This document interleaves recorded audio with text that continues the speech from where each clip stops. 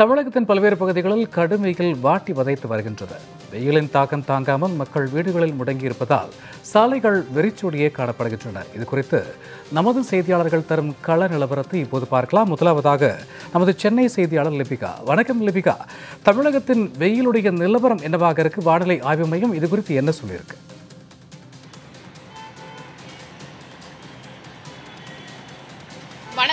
வணக்கம் தற்போது தமிழகத்தை பொறுத்தவரை வெயிலினுடைய தாக்கமானது பெரிய அளவிலே இருந்து வருகிறது. குறிப்பாக சென்னையை பொறுத்தவரை அதிகப்படியான வெயில் தாக்கமானது தொடர்ந்து கடந்த ஒரு வார காலமாகவே இருந்து வருகிறது. கிட்டத்தட்ட சென்னையை பொறுத்தவரை மட்டுமே நாள் ஒன்றுக்கு முப்பத்தி ஆறு டிகிரி செல்சியஸ் வெப்பநிலையானது பதிவாகி இருக்கிறது.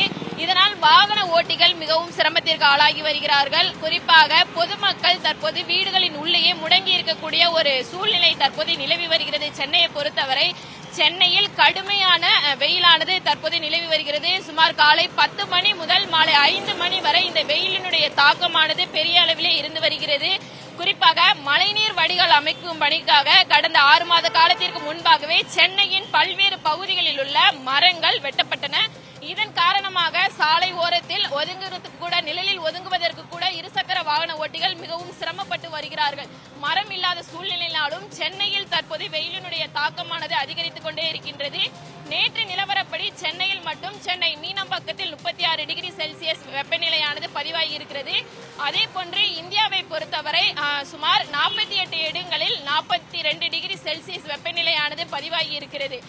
தற்போது கோடைக்காலம் தற்போது தொடங்கி இருக்கிறது. இருப்பினும் இன்னும் அக்னி வெயிலானது இன்னும் தொடங்கவில்லை. இருப்பினும் அக்னி வெயிலில் எந்த அளவிற்கு வெயிலினுடைய தாக்கம் இருக்குமோ அதே போன்று தற்போது வெயிலினுடைய தாக்கமானது சென்னையில் இருக்கிறது. குறிப்பாக தங்களுடைய பணிகளுக்கு செல்வதற்காக காலை நேரங்களில் இருந்து அதே போன்று ஒவ்வொரு துறை சார்ந்த பணிகளுக்கு மதிய நேரங்களிலும் வேலைக்கு சென்று வரக்கூடிய ஒரு நிலை இருக்கிறது.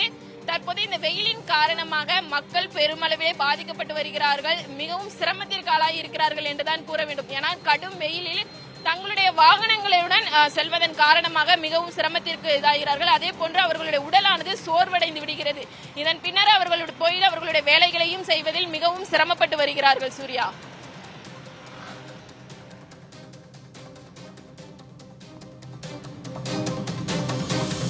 வெயில் நிலவரம் குறித்து நேரில் இணைந்தமைக்கு நன்றி லிபிகா.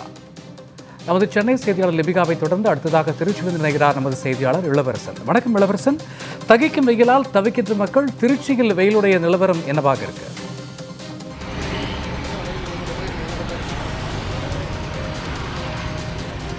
கண்டிப்பாக சூர்யா. தற்பொழுது நாம் வந்து திருச்சி ஜங்ஷன் பகுதியில் இருக்கோம். திருச்சி மாவட்டத்தை பொறுத்து தொடர்ந்து வந்து கடந்த சில தினங்களாக வந்து கோடை வெயில் வந்து சதமடித்து வருகிறது. இன்றைய நிலவரப்படி த- குறிப்பாக தற்போதைய நிலவரப்படி திருச்சி மாவட்டத்திலிருந்து நூற்றி ஒரு டிகிரி வெயில் அடித்துக் கொண்டிருக்கிறது. தொடர்ந்து வந்து இந்த வெயில் தாக்கத்தின் காரணமாக மதிய வேலைகளில் வந்து பொதுமக்கள் வந்து வீட்டை விட்டு அதிகம் வெளியே வராமல் கா காத்துக்கிட்டு குறிப்பாக வந்து இந்த பகுதியில் வந்து பல்வேறு பகுதிகளில் வந்து இந்த கோடை வெயில் தாக்கத்தினால் வந்து பொதுமக்கள் நடமாட்டம் குறைந்த அளவே காணப்படுகிறது தமிழகத்தின் மத்திய பகுதியான திருச்சி மத்திய பேருந்து நிலையம் பகுதியில் குடிநீர் பிரச்சனை ஒரு சில இடங்களில் வந்து ஏற்கனவே வைத்துள்ள குடிநீர் பைப்புகள் இல்லாமல் கூடுதலாக வைக்க வேண்டும் என பொதுமக்கள் கோரிக்கை விடுத்துள்ள அதே நிலையில் தற்போது நம்ம ஒளிப்பதிவாளர் கணேஷ்குமார் இந்த பகுதியை காட்சிப்படுத்துவார். இந்த பகுதி முழுவதுமே வந்து கோடை வெயிலால் வந்து அதிக நடமாட்டம் எப்பொழுதுமே காணப்படும் பகுதி வந்து தற்பொழுது பொதுமக்கள் நடமாட்டம் குறைவாக காணப்படுகிறது. அதுவும் வந்து இன்று ஸ்ரீரங்கம் சித்திரை தேரோட்டம் நடைபெற்றுக் கொண்டிருக்கும் நிலையில் வந்து மக்கள் கூட்டம் மிக குறைவாக காணப்பட்டு கொண்டிருக்கிறது சூர்யா. அதே சமயத்தில் வந்து இந்த கோடை வெயிலிருந்து தம்மை க- தற்காத்துக் கொள்ள என்னென்ன வழிமுறைகள் என்பது குறித்து ப- மருத்துவர்கள் கூறியுள்ள நிலையில் இயற்கையின் வரங்களாக கருதப்படும் பழங்கள் அதாவது தர்பூசணி மற்றும் முலாம்பழங்கள் விற்பனைக்கு வந்து நிறைய வந்து சாலையோரங்களில் திடீரென கடைகள் முறை- மு- முளைத்துள்ளன. அந்த பகுதியை தான் இப்போ நம்ம பார்த்துக்கிட்டு இருக்கோம். இந்த பகுதியில் வந்து கடலூர் மற்றும் செங்கல்பட்டு உள்ளிட்ட பல்வேறு பகுதிகளில் விளைந்த முலாம்பழம் மற்றும் தர்பூசணிகள் வந்து விற்பனைக்காக வைக்கப்பட்டுள்ளது. பொதுமக்கள் ஏராளமானோர் வந்து ஆர்வமாக வந்து வா- வாங்கி செல்கின்றனர். ஆனால் இந்த பொழுது வெயில் நேரம் என்பதால் வந்து இந்த பகுதியில் வந்து யாரும் பொதுமக்கள் வராமல் இருக்குது இந்த நிலையில் வந்து இந்த கடை வியாபாரி நம்பிடம் இருக்கார் அவர்கிட்ட கேட்போம். ஐயா இப்போ இந்த பழங்கள்லாம் எங்கேருந்து வாங்குறீங்க? இது கிலோ விற்பனை என்ன? அப்படின்னு ஒவ்வொன்றை பற்றி சொல்லுங்க. சார். திண்டிவனம் சார். திண்டிவனத்துலேருந்து தர்பூசணி மாதுளம் மாதுளம்பழம் எல்லாம் வருது. புலாம்பழம் ஜூஸ் எல்லாம் இருக்குது இந்த கோடை கட்டுறக்கு இதுதான் நல்ல மிகச்சிறந்த பானமாக இருக்குது வெ- வெயில் சூட்டை வந்து தணிக்குது. அதே மாதிரி சுகர் பேஷண்ட் வந்து முலாம்பழத்தை ஐஸு சர்க்கரை எதுவும் இல்லாமல் சாப்பிடுவாங்க. நல்லா இருக்கும். சுகரெல்லாம் குறைக்குது. அந்த வியாபாரம் நாங்கள் பண்ணிக்கிட்டு இருக்கோம் சார். ஐயா இப்போ இந்த முலாம்பழம் காமிங்க எடுத்து காமிங்க. இது ஒரு கிலோ வந்து என்ன ரேட்டு விற்குது அது இந்த முலாம்பழம் இந்த இதெல்லாம் எவ்வளோ விற்குது அதை பற்றி சொல்லுங்கள் கிலோ நாற்பது ரூபா சார். இந்த பழம் எவ்வளோ விற்குது இந்த பழம் நாற்பது ரூபா சார் கிலோ. தர்பூசணி வந்து இருபது ரூபா சார் கிலோ. நல்ல சேல்ஸ் ஆகுது சார். சூர்யா நீங்கள் பார்த்திருப்பீர்கள் வந்து அதாவது இயற்கை இந்த கோடை வெயிலிருந்து தம்மை தற்காத்துக் கொள்ள இயற்கை கொடுத்த பழங்களை வந்து தொடர்ந்து வாங்குவதற்கு பொதுமக்கள் தயாராகி வருகின்றனர். அந்த வகையில் இந்த சாலையோர கடைகள் வந்து திருச்சியை பார்த்தீங்கன்னா திருச்சி மாவட்டத்தின் பல்வேறு பகுதிகளில் வந்து சாலையோரமாக தர்பூசணி மற்றும் முலாம்பழம் மற்றும் வெள்ளரி பழம் உள்ளிட்ட வந்து நிறைய கடைகள் வந்து முளைத்துள்ளன. இது போன்ற இயற்கை ப- பழங்களை வாங்கி உணவு உண சாப்பிட்டு கோடை வெயிலிருந்து நம்ம தற்காத்துக் கொள்ள வேண்டும் என்பதுதான் விவசாயிகள் மற்றும் வியாபாரிகள் கருத்தாக உள்ள நிலையில் வந்து கோடை வெயிலிருந்து தப்பிப்பதற்காக மதிய நேரத்தில் வந்து பொதுமக்கள் நடமாட்டம் குறைவாக காணப்பட்டு வருகிறது. ஏற்கனவே நாம் ஏற்கனவே நாம் கூறியது போல வந்து மத்திய பேருந்து நிலையம் பகுதியில் வந்து கூடுதலாக குடிநீர் பைப்புகள் அமைத்து குடிநீர் வசதி ஏற்படுத்தி தர வேண்டும் என்பது த- இந்த பகுதி மக்களின் கோரிக்கையாக உள்ளது சூர்யா.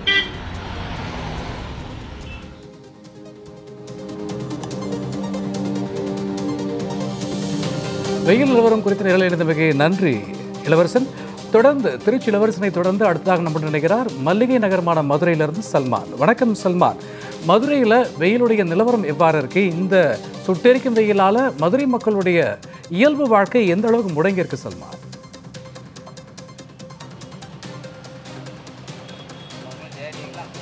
நிச்சயமாகவே கடந்த ஒரு மாதமாக மதுரை மாநகர் முழுவதிலுமாக நூற்றி ஒரு டிகிரி ஃபாரான்கிட் அளவை தாண்டி தான் வெயிலின் தாக்கம் அதிகரித்து காணப்படுகிறது. நாள்தோறும் வெயிலின் தாக்கம் அதிகரித்து வரக்கூடிய நிலையில் பொதுமக்களின் நடமாட்டம் என்பது அனைத்து பகுதிகளிலுமே குறைவாகவே காணப்படுகிறது. குறிப்பாக முக்கிய பேருந்து நிலையங்களான அண்ணா பேருந்து நிலையம் மாட்டுத்தாவணி ஆரப்பாளையம் போன்ற முக்கிய பேருந்து நிலையங்கள் அதே போன்று பொதுமக்கள் கூடும் இடங்களில் கூட பகல் நேரங்களில் பொதுமக்கள் வெளியில் வருவதை முழுமையாக தவிர்த்துள்ளார்கள். அதே போன்று தற்பொழுது தொடர்ச்சியாக கடந்த ஒரு மாதமாக கோடை வெயில் அதிகரித்து வருவதன் காரணமாக குழந்தைகள் முதியவர்களுக்கு அதிக அளவிற்கான சரும நோய்கள் அதிக அளவிற்காக பரவ தொடங்கியுள்ளன. குறிப்பாக குழந்தைகளுக்கு அம்மை என்று சொல்லக்கூடிய அந்த வெயிலின் தாக்கத்தால் அதிக அளவிற்கான அம்மை நோய்கள் பரவி குழந்தைகள் அதிக அளவிற்கு பாதிக்கப்பட்டு அரசு மருத்துவமனைகளில் சிகிச்சை பெறக்கூடிய ஒரு நில நிலையும் தொடர்ந்து வருகிறது. குறிப்பாக தற்பொழுது நாம் இருக்கக்கூடிய பகுதி என்பது மதுரை மாவட்ட ஆட்சியர் அலுவலகத்தில் இருக்கக்கூடிய அரசு ராஜாஜி மருத்துவமனை அருகே இருக்கக்கூடிய அண்ணா பேருந்து நிலையத்தில் தான் இருக்கிறோம். அண்ணா பேருந்து நிலையத்தில் நாள்தோறும் பல்லாயிரக்கணக்கான பயணிகள் அதே போன்று பேருந்துகளில் வந்து செல்லக்கூடிய ஒரு சூழலில் மதுரை மாநகர் மற்றும் புறநகர் பகுதிகளை இணைக்கக்கூடிய ஒரு பேருந்து நிலையத்தில் தற்பொழுது கோடை வெயிலின் தாக்கம் அதிகரிக்கும் நிலையில் கூட ஒரு பேருந்து நிழல் கூடை கூட ஒரு இல்லாத ஒரு அவல நிலை தான் காணப்படுகிறது. இதன் காரணமாக அரசு மருத்துவமனை மற்றும் மாவட்ட ஆட்சியர் அலுவலகங்களுக்கு வரக்கூடிய குழந்தைகள் முதியவர்கள் பச்சை நோயாளிகள் அதே போன்று அருகிலே இருக்கக்கூடிய அரவிந்த் கண் மருத்துவமனைக்கு வரக்கூடிய கண் சிகிச்சை நோய்களுக்காக வரக்கூடிய நோயாளிகளும் கூட இந்த பகுதியில் நீண்ட நேரமாக வெயிலில் காத்திருக்கக்கூடிய ஒரு அவலை நிலை தான் நீடித்து வருகிறது.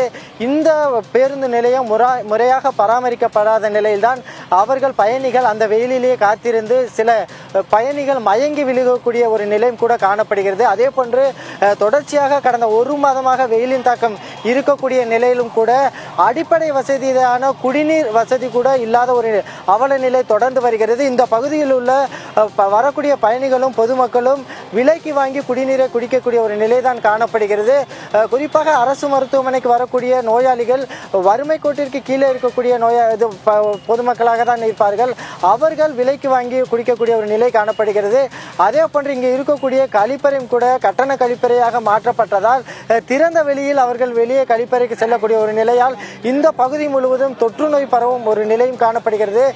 தற்பொழுது நாளுக்கு நாள் கு- வெயிலின் தாக்கம் அதிகரித்து வரக்கூடிய நிலையில் பொதுமக்கள் ஒதுங்குவதற்கு கூட ஒரு நிழற்கூடை அதே போன்று குடிநீர் வசதி கழிப்பறை உள்ளிட்ட எந்த வசதிகளும் இல்லாத ஒரு நிலையில் தான் தற்பொழுது அல்னா பேருந்து நிலையம் செயல்பட்டு வருகிறது.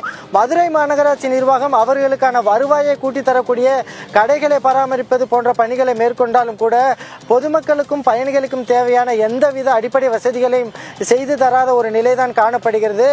தொடர்ச்சியாக வெயிலின் தாக்கம் அதிகரிக்கக்கூடிய நிலையில் கூட வரும் ஒரு ஒரு வாரத்தில் சித்திரை திருவிழா தொடங்கக்கூடிய நிலையில் அதிகரிக்கக்கூடிய வெயிலின் தாக்கம் அதிகரிப்பதால் பொதுமக்கள் மிகுந்த கவலையோடு இருக்கிறார்கள். மிகு ஒரு ஏதேனும் ஒரு மழை பெய்யுமா என்ற எதிர்பார்ப்போடு காத்திருக்கிறார்கள்.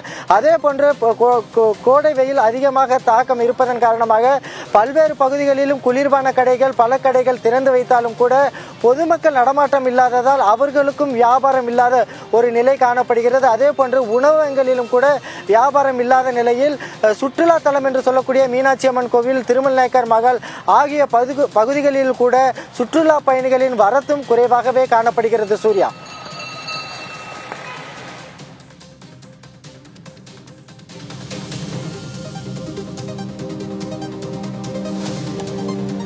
வெயில் நிலவரம் குறித்த நேரில் இணைந்தமைக்கு நன்றி. சல்மான் தொடர்ந்து சென்னை திருச்சி மதுரை அடுத்ததாக கோவை செய்தியாளர் ஜோசப் நம்மோடு நேரில் இணைகிறார்.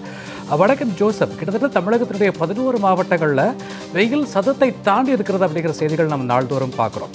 வெயிலால் மற்றும் வெயிலால் ஏற்படக்கூடிய தொற்றுக்களிலிருந்து மக்கள் தங்களை பாதுகாத்துக் கொள்ள வீடுகளுக்குள்ளேயே முடங்கி இருக்கக்கூடிய அவலமும் ஏற்படுது. கோவை பொறுத்த வரைக்கும் மக்கள் மற்றும் வெயிலுடைய நிலைமை என்ன ஜோசப்?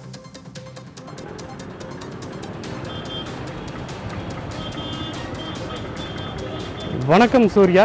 தற்போது கோவை மாவட்டத்தில் இருக்கக்கூடிய பொதுமக்களுக்கு வந்து கோடை வெயிலின் தாக்கம் மிக அதிக அளவில் இருக்கிறது.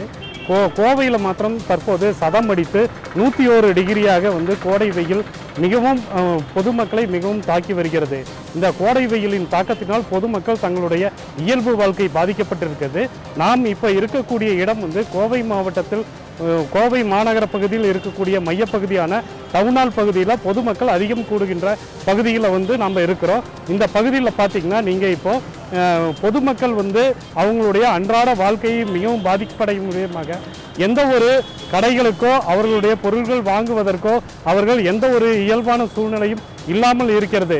மேலும் கோவை மாவட்டத்தில் தற்போது கோடை வெயில் காரணமாக பள்ளி கல்லூரிகள் வந்து அனைத்தும் திறந்து இருக்கின்றன பள்ளிக்கு செல்லக்கூடிய மாணவ மாணவிகள் இந்த கோடை வெயில் கா தாக்கத்தினால் மிகவும் பாதிக்க பாதிப்படைந்துள்ளனர். மேலும் இந்த பள்ளியில் வந்து பள்ளி கல்வித்துறை அரசு துறை சார்பாக வந்து பள்ளி நேரத்தை மாற்றி அமைக்க வேண்டும் என்பதே பெற்றோர்களுடைய கோரிக்கையாக இருக்குது. மேலும் கோவையில் இருக்கக்கூடிய பொதுமக்களுக்கு கோவை அரசு பொது மருத்துவமனை அவர்கள் இந்த கோடை வெயிலில் வந்து தங்களை பாதுகாத்துக் கொள்ள வேண்டும். அதே சமயத்தில் வந்து கோடை வெயில் அவர்களுடைய தாக்கத்தின் காரணமாக தொண்டை வலி மற்றும் வந்து காய்ச்சல் போன்ற வைரஸ் நோய்கள் அதிக அளவு பரவும் அபாயம் ஏற்பட்டுள்ளது. இந்த அபாயத்தின் காரணமாக பல்வேறு நோய் தொற்று ஏற்படுகின்ற காரணத்தினால அரசு மருத்துவமனையில் வந்து மு- முன்னெச்சரிக்கை பாதுகாப்பு நடவடிக்கைகள் அனைத்துமே மேற்கொள்ளப்பட்டு வருவதாக அரசு துறை மற்றும் மருத்துவத்துறை தெரிவித்துள்ளது. மேலும் கோவை மாவட்டத்தை பொறுத்த வரைக்கும் பல்வேறு இடங்களில் வந்து நீர்மோர் பந்தல் மற்றும் வந்து பொதுமக்களுக்கு குடிநீர் பானங்கள் அனைத்தையுமே இலவசமாக கொடுத்து வந்திருந்தாங்க கடந்த சில ஆண்டுகளில். ஆனால் தற்போது இந்த கோடை வெயிலில் வந்து எந்த ஒரு பகுதியிலுமே வந்து குடிநீர் இலவசமாகவோ அல்லது நீர்மோர் பந்தல் எங்கேயுமே திறக்காத காரணத்தினால் பொதுமக்கள் மிகவும் அவதிப்பட்டு இருக்கிறார்கள் மேலும் பேருந்துகளில் பயணம் செய்யக்கூடியவர்கள் ஆட்டோ மற்றும் மகிழுந்துகளில் பயணம் செய்யக்கூடிய பொதுமக்கள் மிகவும் பாதிப்படைந்திருக்கிறார்கள். தங்களுடைய இயல்பான வாழ்க்கை பாதிப்படைந்திருக்கிறது என்பதை பெற்றோர்கள் மற்றும் பொதுமக்கள் மிகவும் வருத்தத்துடன் தெரிவித்து வருகிறார்கள் சூர்யா.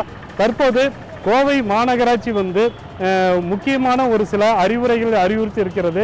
கோவை மாநகராட்சியில் இருக்கக்கூடிய பொதுமக்கள் அனைவருமே தங்களுடைய வீட்டு வரி குடிநீர் வரி அனைத்தையுமே முழுமையாக கட்ட வேண்டும் என்று அறிவுறுத்தப்பட்டுள்ளது.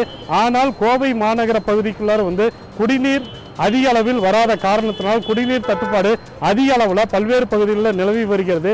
கோவை மாநகர பகுதிக்கு குடிநீர் ஆதாரமாக இருக்கக்கூடிய சிறுவாணி அணை பில்லூர் அணை நீர்மட்டம் அதிக அளவில் குறைந்திருக்கிறது. இதனால் கோவை மாநகர பகுதியில் குடிநீர் தட்டுப்பாடு வருகின்ற காலங்களில் மிக அதிக அளவில் பாதிப்பு ஏற்படும் அப்படிங்கிறத பொதுமக்கள் முக்கிய கோரிக்கையாக வைத்துள்ளார்கள். இதை வந்து தமிழக அரசும் சரி மாவட்ட நிர்வாகமும் தகுந்த முன்னெச்சரிக்கை நடவடிக்கை மேற்கொள்ள வேண்டும். அதே சமயத்தில் இந்த கோடை வெயில் காரணமாக தற்போது அஹ், சென்னை வானிலை மையம் அறிவித்துள்ளபடி இரண்டு சதவீதத்திலிருந்து மூன்று சதவீதம் அதிகரிக்கக்கூடும் என்பதும் பொதுமக்களிடையே அச்சத்தை ஏற்படுத்தியுள்ளது. தொடர்ந்து இதே போன்று பல்வேறு பகுதிகளில் வந்து பொதுமக்கள் தங்களுடைய இயல்பு வாழ்க்கை பாதிப்பு பாதிப்புகின்ற காரணத்தினால வந்து மீண்டும் அவர்களுக்கு வந்து தமிழக அரசும் சரி கோவை மாவட்ட நிர்வாகம் தகுந்த நடவடிக்கை எடுக்க வேண்டும் என்பதே அனைவருடைய கருத்தாகவும் இருக்கிறது சூர்யா.